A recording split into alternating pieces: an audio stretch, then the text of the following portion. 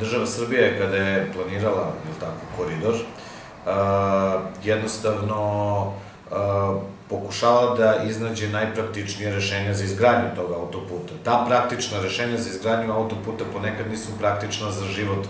ljudi koji žive ili imaju neke imanja oko autoputa. Ja sam sa tim a, problemom upoznat, mene, su, mene je komšija zamolio da u ime te zajednice vlasnika tih parcela i vikendica u tom potezu se jednostavno raspitam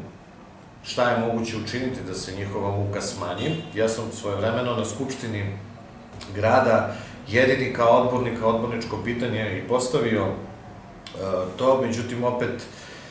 tu, tu lopta nije u igralištu gradske uprave toliko koliko se misli, odnosno mnogo manje, već jednostavno država Srbija i izvođač radova ovaj, je bio u obavezi da stvori uslove ljudima da dođu, da dođu do, do, do svojih parcela i ja sam zaista siguran i želim da se stavim na raspolaganju njima da i preko lokalne samouprave opet učinimo neku vrstu pritiska da podsjećamo njih na koliko se sećam, njihovo obećanje da će ti ljudi biti zbrinuti da će bez problema moći da koriste svoje, svoje parcele, vikendice, zemljište, obradivo. Jer ono što je sada situacija jeste da oni fizički mogu da dođu tamo na način na koji ste opisali, ali ništa drugo. A obradiva površina zahteva